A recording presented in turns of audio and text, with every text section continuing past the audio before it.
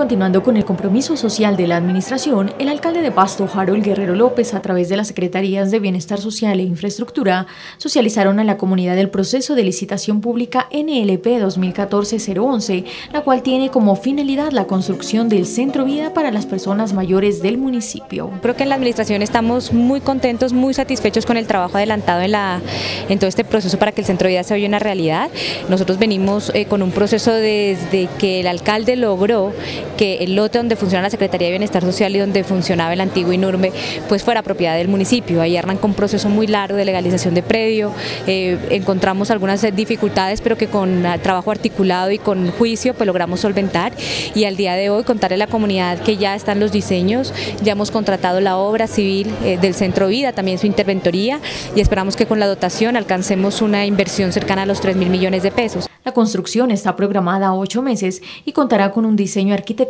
pensado en el bienestar de las personas mayores y sus condiciones, con capacidad de brindar servicios en salud ocupacional, asistencia médica, psicología, enfermería y otras áreas. El Centro Vida, como les reitero, es para personas mayores, para personas de la tercera edad. Vamos a tener un área destinada para actividades lúdicas, para actividades recreativas. Eh, ahí tenemos un espacio muy amplio donde se prevé también tener dos teatrinos, es decir, donde nuestras personas mayores tengan un espacio donde puedan adelantar sus, jornadas culturales, que eso ha sido una dificultad que hemos encontrado las distintas dependencias que trabajamos con el adulto mayor. Nos toca hacerlas al aire libre, eh, a veces cuando nos llueve pues se vienen abajo esas actividades y bueno, el Centro Vida va a ser una solución para, para, esas, para esas problemas. Y también vamos a tener un área de capacitación, hemos identificado que los talleres socioproductivos para las personas mayores son fundamentales, eh, hacer un buen uso del tiempo libre y que lógicamente estas capacitaciones de alguna manera también les den unas oportunidades de generación de ingresos desde sus hogares, eh, que seguramente pues les ayudarán mucho en su dinámica familiar.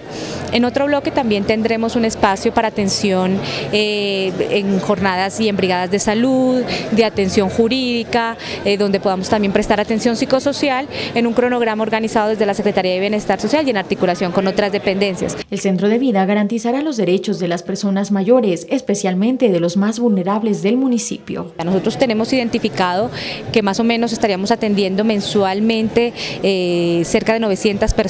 entre los diferentes programas del adulto mayor que ya opera la Secretaría de Bienestar Social más otras actividades relacionadas a la operación del Centro Vida. Ahí lo que tenemos que hacer es ser muy juiciosos en la organización del cronograma porque la idea es que si bien se deben desarrollar actividades institucionales, pues también la comunidad, las organizaciones sociales de adulto mayor puedan tener unos espacios. Pero para eso eh, la única manera en la que podemos lograrlos es haciendo un, un ejercicio muy juicioso de organización y de eh, articulación con la sociedad civil, con otras dependencias, para que todos podamos hacer uso del espacio. La idea es generar unos procesos de inclusión desde el centro vida que garanticen que nuestras personas mayores estén en muy buenas condiciones, tengan espacios de socialización, tengan la posibilidad de salir de sus casas. A veces el encierro es uno de los factores que más deprime a nuestras personas mayores y eso es ajeno a las condiciones eh, socioeconómicas de la población. Luego, si bien es cierto, debemos priorizar población vulnerable, en la medida en que el centro nos dé espacios, podríamos trabajar también con otro tipo de población. En la socialización también se conformó la veeduría ciudadana con el propósito de garantizar la transparencia y eficiencia en el proceso de construcción